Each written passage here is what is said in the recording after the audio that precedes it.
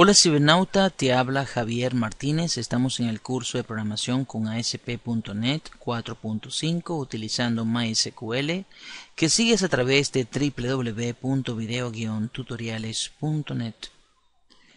Bien cibernauta, entonces habiendo visto cómo trabajar con los procedimientos almacenados, vamos a crearnos un segundo sitio web.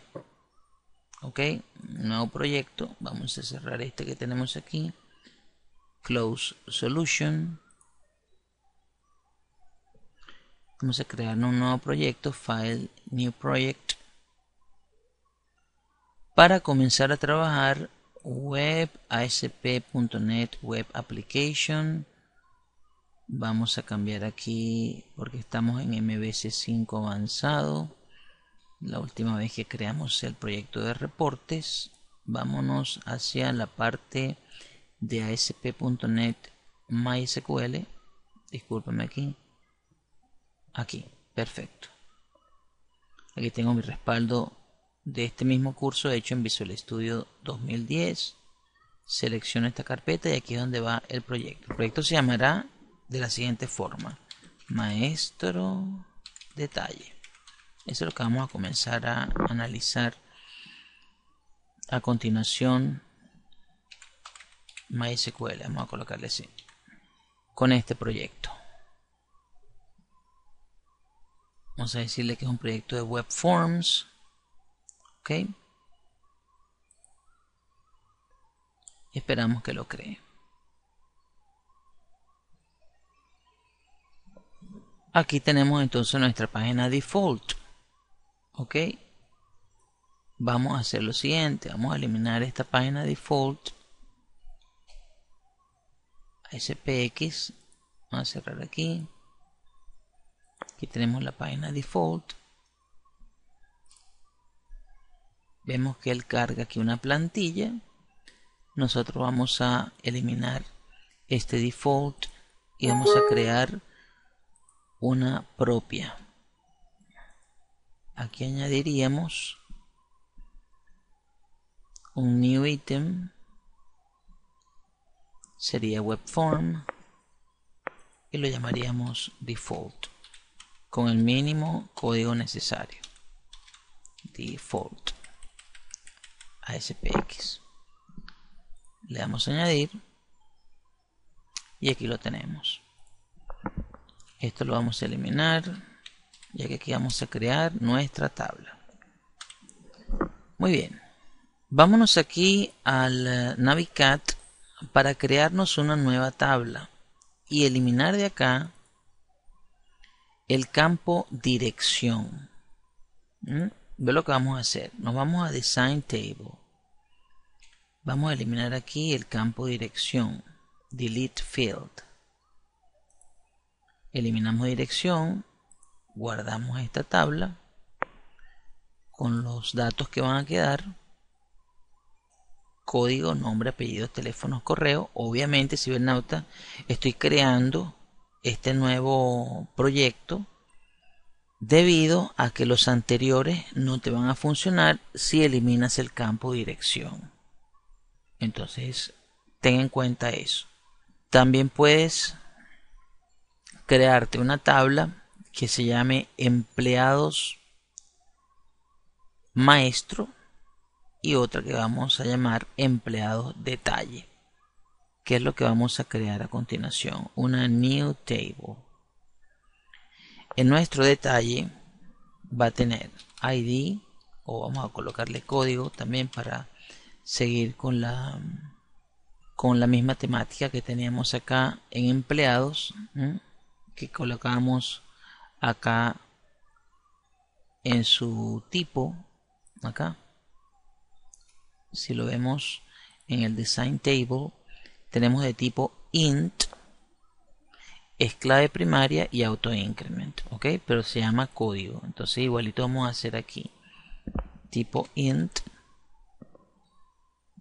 que lo tenemos, auto increment y acá clave primaria.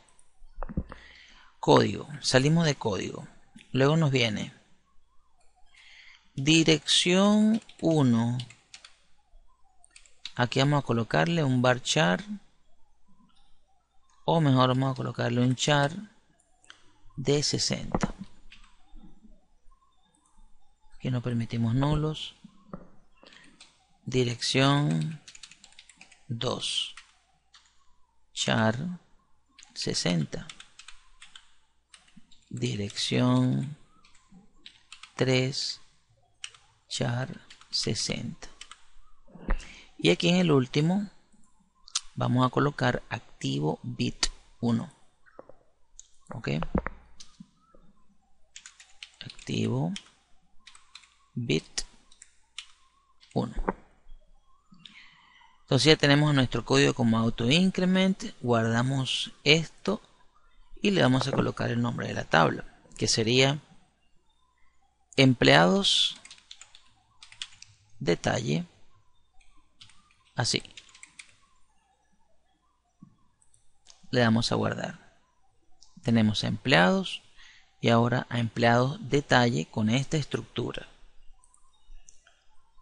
Ahora para poder ver la dirección de cada uno de los empleados vamos a tener que recurrir a empleados detalle. Muy bien. Nos regresamos aquí y vamos a comenzar a crear la tablita de lo que será nuestro formulario. Table with eh, 100%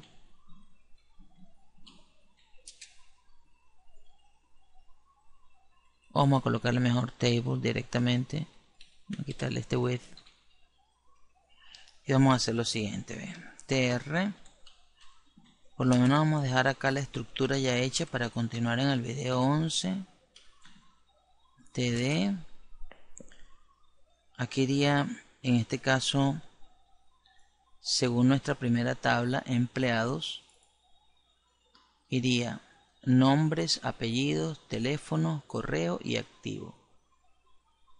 A ver, nombres, apellido, teléfono y correo. Cuatro campos. Vamos. Nombres. Dos puntos. En el otro TD iría el campo. Vamos a irnos acá al toolbox vamos a dejarlo fijo y vamos a colocar acá un text box aquí donde dice nombres esto lo eliminamos Epa, disculpa. Ahora sí. Text box aquí.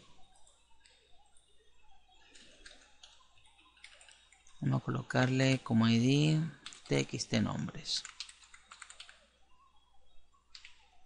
Así. Ok. Entonces bajo esta misma estructura vamos a hacer lo mismo para apellidos dirección la eliminamos nos quedaría teléfonos y correo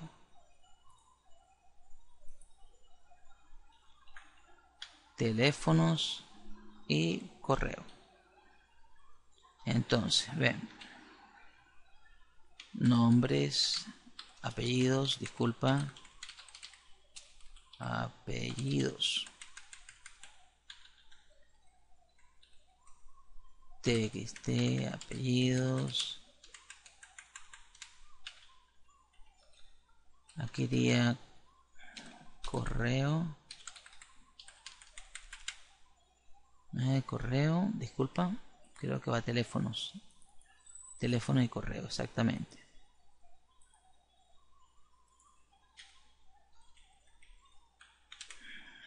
Teléfonos.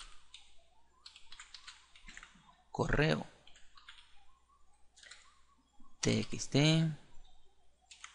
Teléfonos. Y aquí correo.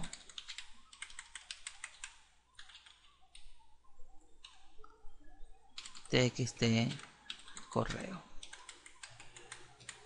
Bien podrías haber hecho esto de la parte visual, si ven Nauta nosotros lo estamos haciendo desde acá, de la parte del código.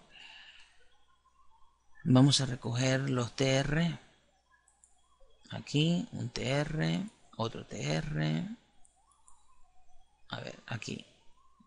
El primer tr luego este tr de apellidos. Luego el tr de teléfonos. Y vamos a crear acá el de correo antes de cerrarlo.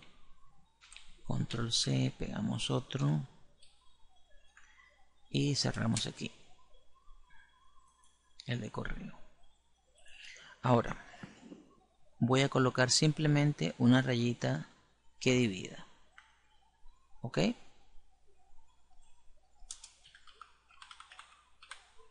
una rayita para dividir la parte del formulario de los datos del detalle que serían los que vienen a continuación con los datos del maestro aquí lo tenemos nombres apellidos teléfonos y correo ok entonces teniendo esto ya listo continuaremos con nuestro curso en el video número 11 de esta serie.